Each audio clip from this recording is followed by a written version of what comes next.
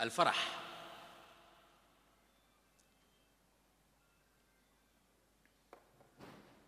رأيت اكتئابي رأيت اكتئابي عجوزا له بسمة طيبة.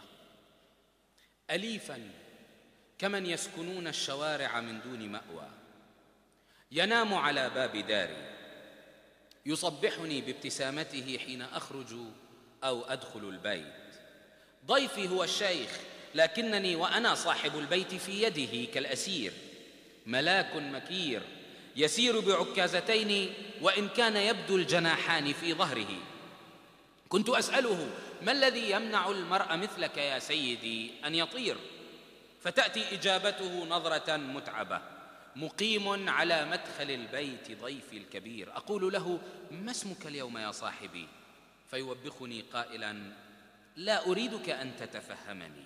فقط اقسم رغيفك بيني وبينك. كن صاحبا طيب القلب واجلس إلى جانبي. فأرق له رغم علمي بأن هلاكي أن أصحبه. وضيفي قعيد كبيت من الشعر منكسر الوزن والنحو ليس له أي معنى ويغضب حين أحاول أن أعربه. أقول عسى أن يقوم ويرحل عني فأزعجه بعلاج العدائي عمدا وأسئلة الجارحات وأمعن جدا فيفهم قصدي ويشبه جدي ويزداد مني اقترابا وودا إذا ما رآني أحاول أن أغضبه. ويشبهني الشيخ حين أحدق في وجهه. وكأني أحدق في نهر دمع ومرآة نبع وأفرد عن كل جمع وأحجب عن كل سمع. أرى حسب وجهي يشيخ رويدا رويدا إلى أن أضيع أي من الجالسين الكثير. وفي الاكتئاب وإن كان دوما يثير التعاطف شيء من النرجسية لأن الحزين يرى نفسه أولا وإن الهموم نساء تغار فتحجب صاحبها عن هموم سواه. همومك مثل الغواني تريدك كلك. إن شاركتهن فيك هموم سواك تحررت من أسرهن. يشتتن عينيك مثل البغايا ويبنين حولك سجنا وجدرانه من مرايا. ويمعن حدق بوجهك يا نرجس الحسن والحزن. حدق هنا واستكن وافتتن بجمال الضحية. ونرجس في ضفة النهر يجلس.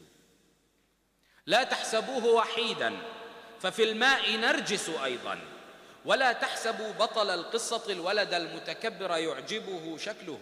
إنما بطل القصة الولد الغارق المشتهي أن يعود إلى نفسه ولدا يتنفس. نرجس نرجس. آن لراوي الملاحم أن يعرف الحق من عكسه. إن نرجس في النهر لا فوقه. إن نرجس طفل غريق وقد خلق الله من زنده طوقه. لا تحدق بصورة وهم على شاطئ النهر واسبح.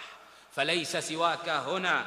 فانسه يا ابن أمي ولا تطمئن إلى أنسه. لا تصدق مراياك حين تريك تجاعيد وجهك. تلك تجاعيدها هي لا أنت يا صاحبي. لا تصدق همومك حين تغار عليك وتنصح. تقول لك اعتزل الناس حتى تصح. تنحى عن الدرب. إن الهزيمة قد رابطت عند بابك فاسمح لها أن تمر لتسمح. فقل عندها للهزيمة لن أتنحى لتمضي ولن تجدي بي ولن تجدي خجلا بي لأغضي. وكسر مراياك كل العجوز على الباب أهلا وسهلا. تعال اشرب الشاي وامضي إلى حيث شئت. فلا شأن لي بعد إن عشت أو مت. يا جدي الحزن قم. هاك موسى الحلاقة. خذ. هذه سترة وقميص جديد وسر واسمك الحزن وافرح. ولا تخجل الآن من هبة الله واجمح.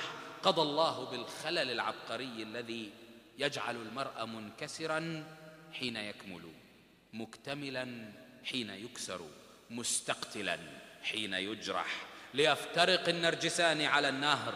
هذا الأصيل وذاك الشبح. ويا جدي الحزن إنك طفل على شيبة الرأس. لا تعرف المشي إلا قليلا. فقم وامشي في الناس جهرا لتشفى من العرض من العرج العرضي ومن شيبك المرضي. وإن سألوك عن اسمك قل لا اسم لي اليوم لكنني من صباح غد سأسمى الفرح.